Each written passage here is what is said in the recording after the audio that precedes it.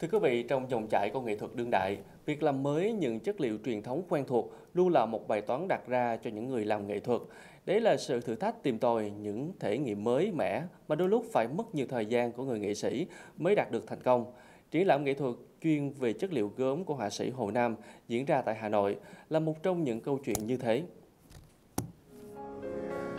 66 tác phẩm nghệ thuật được chế tác từ chất liệu gốm và men màu của họa sĩ Hồ Nam, thể hiện sự kết hợp hài hòa giữa yếu tố tạo hình của hội họa, ngôn ngữ của điêu khắc trong sáng tạo kiểu dáng, sự kế thừa tinh hoa gốm bát tràng truyền thống với những tìm tòi, sáng tạo mới trong màu men, hình khối của tác giả, thể hiện thông điệp tình yêu của họa sĩ đối với con người, thiên nhiên và cuộc sống. Tôi tạo hình bằng cái cách là giạt đất và từ cái giạt đất đấy thì tôi tạo hình sâu ờ, khắc sâu ở trong cái giạt đất đấy À, bởi những cái nét bút và những cái nét tự nhiên để tạo nên cái sự lồi lõm ở trên bề mặt. Thực ra để mà được 66 tác phẩm này thì trong quá trình thử à, tôi cũng đã phải trải nghiệm và bị hỏng rất là nhiều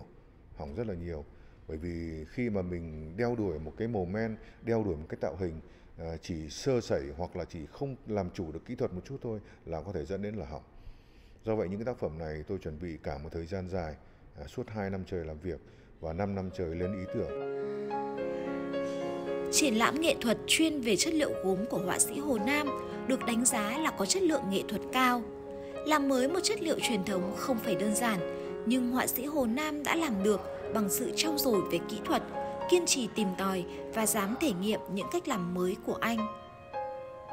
Đến với gốm Việt thì tôi nghĩ không phải ai cũng được duyên như là Hồ Nam anh có cách lựa chọn một cái con đường khác một cái suy tư khác một cái cảm xúc khác một cái đĩa màu khác cho gốm Việt đường đại tôi nghĩ rằng là chính anh cũng không nghĩ là mình lại